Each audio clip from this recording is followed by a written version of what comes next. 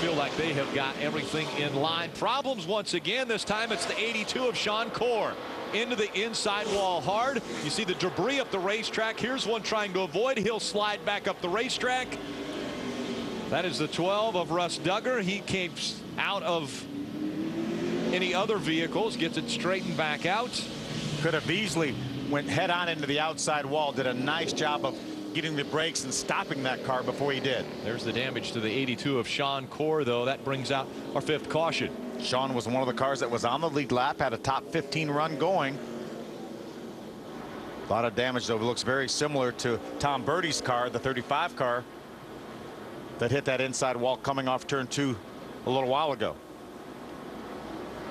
As we are now at the halfway point of this race. Out in front, Craig Goess. And problems for Sean Corr in the 82. Let's take another look. He's already made some contact. See the 12 of Russ Dugger decides to go to the inside, loses the back end, but does a nice job holding the brakes on that car. He had some other traffic coming along the outside. See Sean, he just gets a little bit loose right behind the 44 Frank Kimmel. Then he tries to chase it up the hill. Loses control, comes down off the off the banking into the outside, much like Tom Berte did. Yep, hits that safer barrier just the the beginning of it on the inside wall. Does a lot of damage to the inside. And there you see Russ Dugger in that 12 wanting to go to the inside but carrying a lot of speed got sideways. We have the we have the advantage of being up high there. There was a lot of smoke probably from from Sean's car when Russ Dugger came along. You see the smoke right there. That smoke's a lot worse for those drivers coming than it is for us looking at from this angle. It looks like Russ Dugger was coming up behind Rob Brent as well. Makes a little contact with that inside wall.